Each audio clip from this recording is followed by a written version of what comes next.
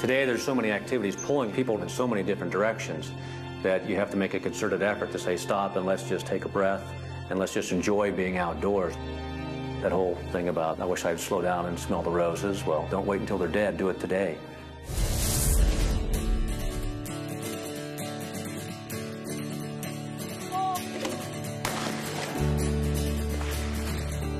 So NRA Day started as a, an idea from a range and some people that were really involved in the NRA range and program development.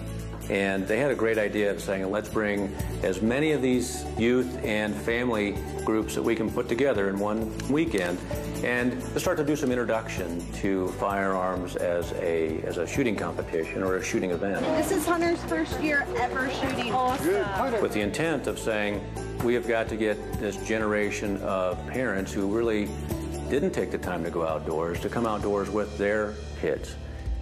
One, two, three, four. Versus one, two.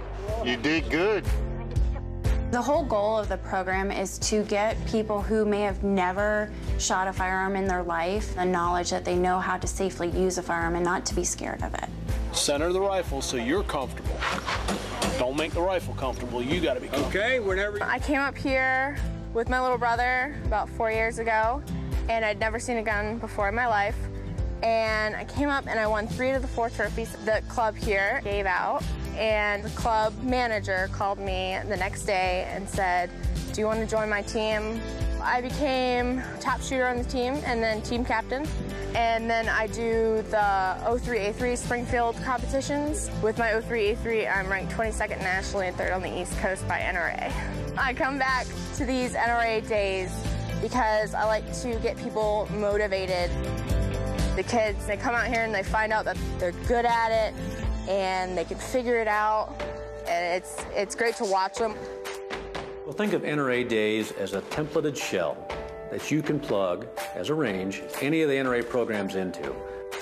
The rifle program, the archery programs, the safety programs, it becomes a template that a range can take and use all the collateral material to market and to do outreach to the region to bring youth to that range on that day for a very special moment with a lot of families involved, a lot of safe education, and, and of course, going out there and shooting 22s and knocking down targets.